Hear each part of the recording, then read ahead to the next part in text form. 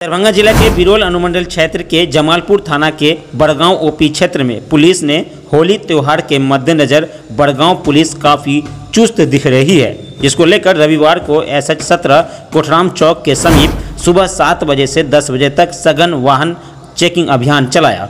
इस दौरान पुलिस ने बिना मानक के चलने वाले करीब दो दर्जन वाहनों को पकड़कर जुर्माना लगाया। वहीं आपराधिक मामले पर अंकुश लगाने हेतु विशेष वाहन चेकिंग के क्रम में त्रुटि पाए गए वाहन मालिकों से दस हज़ार पाँच सौ समन को राशि वसूल की गई।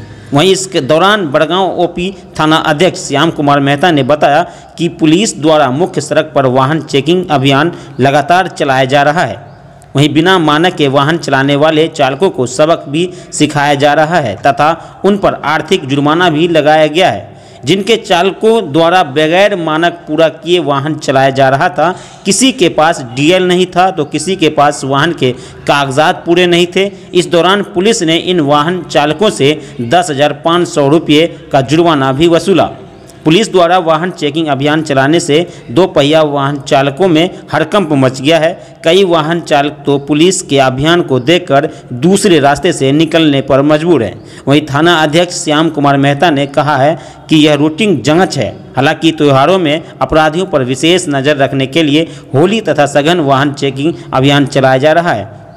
तथा दो पहिया वाहन के डिग्गी की जाँच भी नियमित तौर पर किया जा रहा है ताकि शराब, तस्कर एवं खरीद बिक्री करने वालों पर भी पैनी नज़र रखी जा सके। गंगा बिरोल से हमारे संवाददाता संजय सिंह की खास रिपोर्ट।